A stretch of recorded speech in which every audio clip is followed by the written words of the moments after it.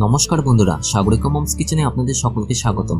বাঙালিদের খুব পছন্দের খাবার হলো কাঁকড়া। ছোট বড় আমরা সকলেই খুব পছন্দ করি কাঁকড়া রেসিপি ছুটির দিনে মাছ মাংসের বদলে জমিয়ে খাওয়া যেতে পারে আলু দিয়ে কাঁকড়ার ঝাল। আর এই আলু দিয়ে কাঁকড়ার ঝাল খেলে পাওয়া যায় এক অভূতপূর্ব তৃপ্তি। তাই আজ আমার মা সকল কাঁকড়া প্রেমীদের জন্য রান্না করেছে আলু দিয়ে কাঁকড়ার ঝাল। সাথে রয়েছে কিছু টিপস এন্ড ট্রিক্স রেসিপিটি ভালো লাগলে পুরনো দর্শক বন্ধুরা লাইক ও শেয়ার করবেন, সাথে কমেন্ট করে জানাবেন কেমন হয়েছে রেসিপিটা আর নতুন দর্শক বন্ধুরা চ্যানেলটি অবশ্যই সাবস্ক্রাইব করবেন। তাহলে চলুন দেখে নেওয়া যাক সম্পূর্ণ রেসিপিটা আলু দিয়ে কাঁকড়ার ঝাল বানানোর জন্য আমার মা এখানে পাঁচশো গ্রামের মতন ছ পিস কাঁকড়া নিয়েছে। সবার প্রথমে কাঁকড়াগুলোকে ছাড়িয়ে পরিষ্কার জলে ভালো করে ধুয়ে রাখা হয়েছে। এখন কাঁকড়াগুলো ভেজে নেওয়ার জন্য কড়াতে পরিমাণ মতন সর্ষের তেল দেওয়া হলো। আচ্ছা এবার তেল গরম হয়ে গেছে। এখন কাঁকড়াগুলো এতে দিয়ে দেওয়া হলো। গ্যাসের ফ্লেমটাকে হাই রেখে কাঁকড়াগুলো হালকা করে ভেজে নেওয়া হচ্ছে। এখন এতে দিয়ে দেওয়া হলো হাফ চামচ মতন লবণ, হাফ চামচ মতন হলুদ গুঁড়ো, আর ভালো করে মাখিয়ে নেওয়া হচ্ছে কাঁকড়ার সাথে। এখন গ্যাসের ফ্লেমটাকে মিডিয়াম রেখে কাঁকড়াগুলো আর কিছুক্ষণ ভেজে নেওয়া হচ্ছে। আচ্ছা এবার কাঁকড়াগুলো ভাজা হয়ে গেছে। এখন একটা পাত্রে তুলে রাখা হলো। এখন আলুগুলো ভাজার জন্য কড়াতে পরিমাণ মতন সর্ষের তেল দেওয়া হলো। তেল গরম হয়ে গেছে, এখন এতে দিয়ে দেওয়া হলো কেটে রাখা আলু। এখানে দুটো আলু বড় বড় সাইজ করে কেটে নেওয়া হয়েছে। এখন গ্যাসের ফ্লেমটাকে মিডিয়াম রেখে আলুগুলো হালকা করে ভেজে নেওয়া হচ্ছে। আচ্ছা এবার এতে দিয়ে দেওয়া হলো হাফ চামচ মতন লবণ আর হাফ চামচ মতন হলুদ গুঁড়ো। আর ভালো করে মাখিয়ে নেওয়া হচ্ছে আলুর সাথে। চার থেকে পাঁচ মিনিট ভাজার পর আলুগুলো হালকা লাল হয়ে গেছে, এখন একটা পাত্রে তুলে রাখা হলো।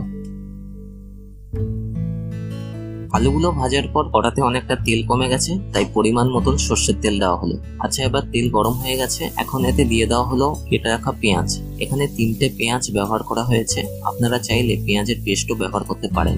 এখন গ্যাসের ফ্লেমটাকে মিডিয়াম রেখে পেঁয়াজগুলোকে হালকা করে ভেজে নেওয়া হচ্ছে। এক থেকে দু মিনিট ভাজার পর পেঁয়াজগুলোর কালারটা হালকা লাল হয়ে গেছে, এখন এতে দিয়ে দেওয়া হলো এক চামচ মতন লবণ, আর ভালো করে মিশিয়ে নেওয়া হচ্ছে পেঁয়াজের সাথে আচ্ছা এবার এতে দিয়ে দেওয়া হলো দু চামচ মতন আদা বাটা আর ভালো করে মিশিয়ে নেওয়া হচ্ছে পেঁয়াজের সাথে। এখন এতে দিয়ে দেওয়া হলো এক চামচ মতন রসুন বাটা আর ভালো করে মিশিয়ে নেওয়া হচ্ছে পেঁয়াজের সাথে।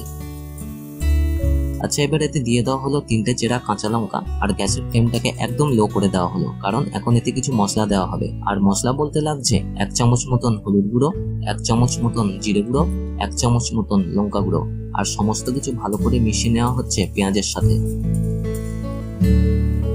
ভালো করে মেশানোর পর এখন এতে সামান্য পরিমাণ জল দিয়ে দেওয়া হলো, আর সমস্ত কিছু খুব ভালো করে কষিয়ে নেওয়া হচ্ছে, যতক্ষণ না মশলাগুলো থেকে কাঁচা গন্ধটা কেটে যায়।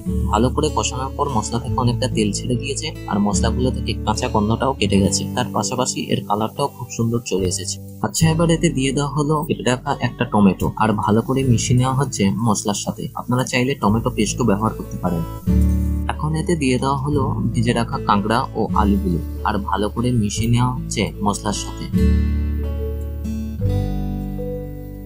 আচ্ছা এবার এতে সামান্য পরিমাণ জল দিয়ে দেওয়া হলো আর ভালো করে কষিয়ে নেওয়া হচ্ছে কাঁকড়াগুলোকে। অল্প অল্প জল দিয়ে কষলে মশলাগুলো তলায় লেগে যাওয়ার বা পুড়ে যাওয়ার কোনো চান্স থাকে না আর রান্নার স্বাদও খুব ভালো হয়। কাঁকড়ায় থাকে প্রচুর পরিমাণ প্রোটিন ও খনিজ পদার্থ, যা স্বাস্থ্যের পক্ষে খুব উপকারী। এছাড়া কাঁকড়া খেলে আপনার হার্ট এবং ব্রেন দুই সুস্থ ও সতেজ থাকে।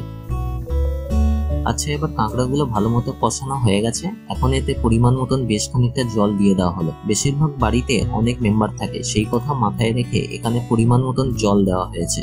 এখন এটাকে হালকা নাড়িয়ে চাড়িয়ে উপর থেকে ঢাকা দিয়ে ফুটতে দেওয়া হলো মিনিমাম সাত থেকে আট মিনিট। আচ্ছা এবার সাত থেকে আট মিনিট পর ঢাকনাটা সরিয়ে নেওয়া হলো। এখন আপনারা দেখতে পাচ্ছেন রান্নার জল অনেকটা টেনে গেছে আর আলুগুলো ভালো মতো সেদ্ধ হয়ে গেছে। এখন এতে দিয়ে দেওয়া হলো সামান্য পরিমাণ গরম মশলা আর হালকা নাড়িয়ে চাড়িয়ে এখন একটা পাত্রে ফেলে রাখা হলো। তৈরি হয়ে গেছে আমার মায়ের হাতে বানানো আলু দিয়ে কাঁকড়ার ঝাল। গরম ভাতের সাথে এই আলু দিয়ে কাঁকড়ার ঝাল খেতে দারুণ লাগবে। রেসিপিটি ভালো লাগলে লাইক ও শেয়ার করবেন, সাথে কমেন্ট করে জানাবেন কেমন হয়েছে রেসিপিটা। আর নতুন দর্শক বন্ধুরা, চ্যানেলটি অবশ্যই সাবস্ক্রাইব করবেন। আগামী দিনে আরও সুন্দর ও সহজ রেসিপি নিয়ে হাজির হব। ততদিন ভালো থাকবেন, সুস্থ থাকবেন। ধন্যবাদ।